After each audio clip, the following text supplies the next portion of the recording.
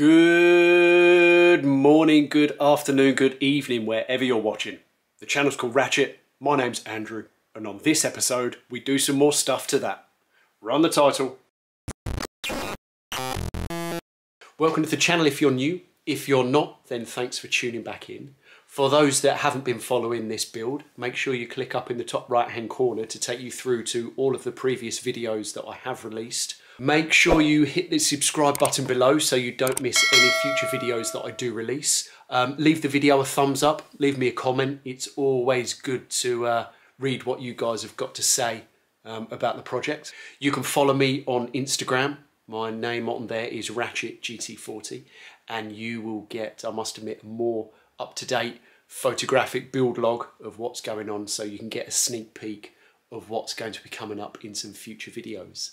In this episode, I had thought I was going to start um, placing the spider back onto the chassis to try and get that aligned, but it soon turned out to be able to do that properly. I had to do a load of other things first, so let me get you up to speed on what's gone on. So the Spider is back on the chassis just temporarily, unfortunately. Um, I just wanted to remind myself how it sits on the front portion of the chassis. The reason being is because I want to chop around this front somewhat. On the original cars, they only have a thin portion of bodywork that sort of runs around kind of offset from the line of the windscreen. So what that means is the fact that this front portion of the chassis needs to be uh, panelled out. So before I go chopping around any bodywork, I need to be sure that the new aluminium panels that I create along the top of the chassis are in the correct location. So that means that this, this panel will be coming off well, it basically means all of the panelling on the front I'm going to end up removing.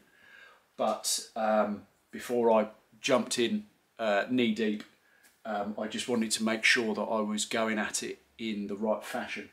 So now the spider can come back off and I can start cardboard templating the various panels that I need to um, sheet out underneath in preparation for then cutting all of this off.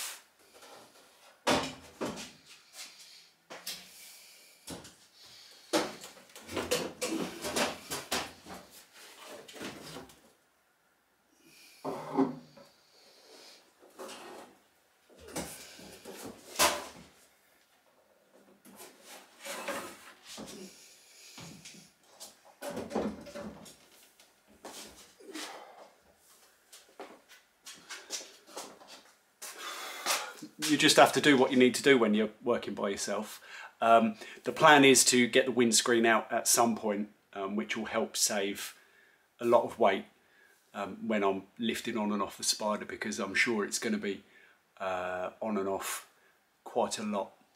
So what you can now see, what I'm planning to do, is the panels that are then going to come round here, cloak along the top of the chassis, come down here so this will be a new panel so now I need to start getting some of this old stuff out of the way. A few moments later.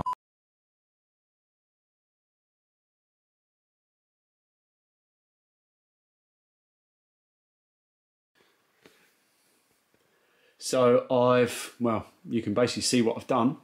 I've stripped out all of the panelling from the driver's side front quarter um, because I think I can do it better. I'll take you around to the passenger side to show you exactly how it stands or exactly how it stood and what I hope my plans will be. I hope you can make out from this shot, but there's one, two, three, four, five, six, seven panels that make up this corner.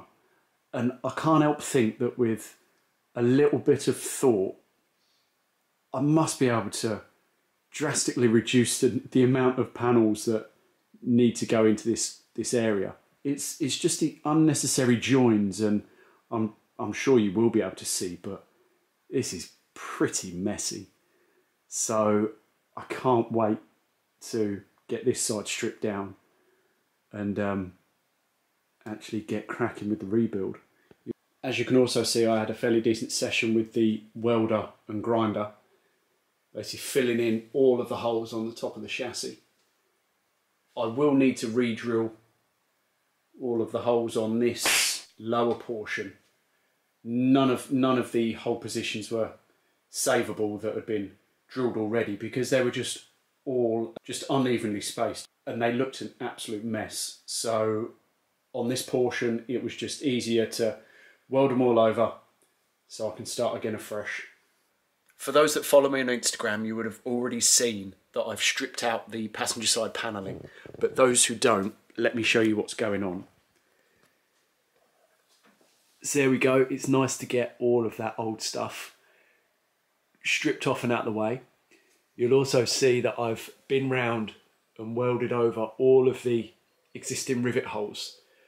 Basically with the panels of this complexity with the various bends, folds, creases, and goodness knows what else, I think it would have been very difficult to get the um, existing rivet holes lining up with the new panels that I do create. So as always, other works have been progressing in the background that I've not shown you yet, but it's now at a stage where I'm able to, and it's something that I'm really excited about. Bye.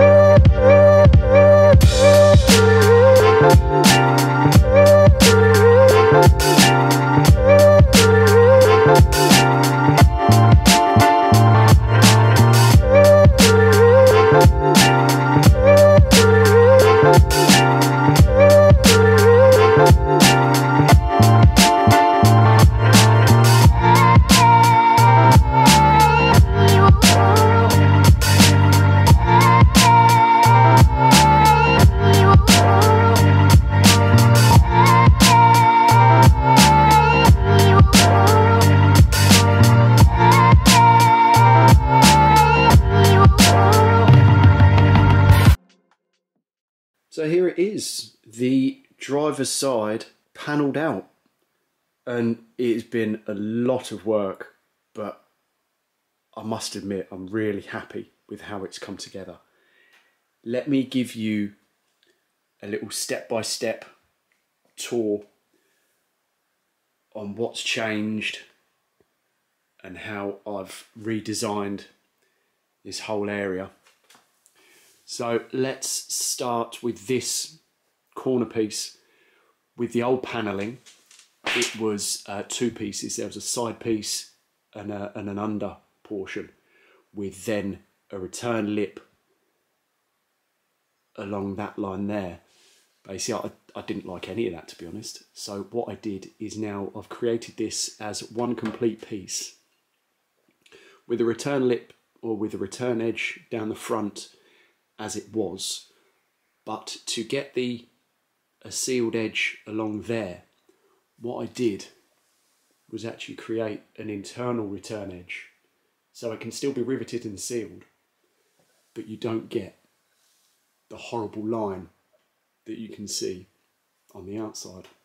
I still obviously need to make one more trim when I get the outer seal in its rough location and that'll also have another hidden return lip returning inside of the chassis there. So that's going to make this last trim just as clean as the rest.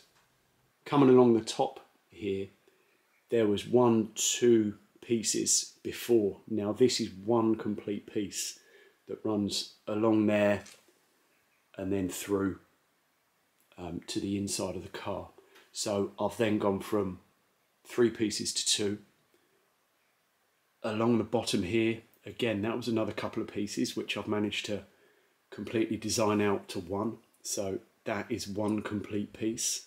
So now coming forwards onto an area that was never panelled out at all, you will see here there's this top piece. So that's all one complete piece. And then there's this smaller bottom triangle. And then also a panel that I've made up is a cloak around the steering rack. Um, that piece will be removable, and it is removable. So all of the other pieces will be riveted in place. Apart from that piece, which will I'll just use um, bolts and riv nuts. So should I ever need to get access to the steering column, to the um, mounts or bushes, I can still do that and not have to worry about um, destroying any of the other work. I'm sure you can imagine that this was just a real evolution as I sort of went along. So much thought went into the design, the crease positions, the fold lines, how everything intersects and sits together. So there is there is more to how these panels meet than than just meets the eye. So let me explain what actually um, I've done. I wanted to add in some detail that very possibly would never ever be noticed by anyone else other than me, or if I was to ever point it out. The first one is where I have um, two panels butt jointed, I've added the same double line of rivets that I used on the rear panels. This same detail will also be used when I'm when I make the top panel and I split that down the centre. That'll have the same double row of rivets running front to back. So that's that's something that will sort of tie everything together. Instead of having a standard lap joint where two panels meet, I've put a bead rolled edge in this bottom one. So when the two panels come together, this is actually flush. And that's been done to all of the other vertical joints as well. So I'm hoping it's just going to come together and look like a really considered, well thought out piece of design. So that's basically the driver's side to a, a pretty decent stage. Now, annoyingly, with a car having a left and a right side, I now need to do all of this work to the other side. And if I'm honest, I don't really enjoy doing things twice. All of the fun for me is in the initial thought process, the initial problem solving. So once I've done something to a stage that I'm happy with, I don't really like doing it again. I want to get onto the next new thing and face the next challenge and come up with the next um, solution. So, but I don't really have a choice. What I will do now is um, crack on with the passenger side. It's just lots of cutting, folding, trimming, sanding, bending, drilling, the usual um, routine. And I'll check back in with you um, when I've got some good progress made to the other side. So a few days work, I've now got the passenger side panelled out. What I've done is I've actually redesigned uh, this cover panel over the steering rack. I've extended that edge uh, 20 mil or so so it runs into the angled panel and it basically just designs out another meeting junction, another closing line so it sort of simplifies the paneling layout even more. It, as you'd expect, it came together easier than the driver's side. All of the thought about the whole positioning had already been done, so I could transfer that over nice and quick. In order to get more accurate pieces, I actually took a second lot of templates off of the as-built driver's side pieces and then used those to make the passenger side out of. So again, it just reduced the amount of um, final trimming and cutting.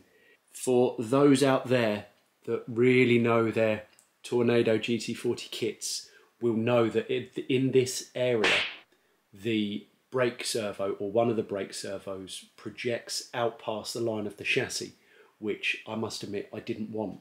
So I've actually removed that because what I'm planning to do is swap over to a pedal box. So I'll be junking the twin servos, junking the electric vacuum and either looking to modify the existing pedal box, increasing the pedal length to give me the correct what six to one ratio, or in fact swapping it out entirely to a completely new pedal box. Leave me a comment below if you've got any first-hand recommendations of any aftermarket pedal boxes. I prefer top hung to floor mount um, or if in fact anyone has modified a Tornado pedal box to give that correct ratio, I'd be really interested to hear from you on that one. I'm generally looking forwards to getting stuck into this front end because at the moment it's a mess. Um, I'm considering doing away with the fire extinguisher because I need to deepen the nostrils of the front nose panel because I've panelled out the front of the chassis. Talking of panel in the front, I'm thinking about doing the inside face of the chassis now, so none of it would be visible. Um, I think that would again be a, a really nice sort of uh, nice touch. So that basically takes care of yet another episode. Thank you for watching. Make sure you hit the subscribe button below, leave a comment. As mentioned, you can follow me on Instagram, RatchetGT40, if you'd like to keep up to date with more current photographic progress. Coming up on the next episode, I think, I won't commit, but I think I'll be almost in a position to finally get this spider back onto the chassis and start looking at getting it located squarely and uh, where it should be. So, well, as always, no idea what's in store, but I will find out when I get there. So up until that point, I will catch you next time.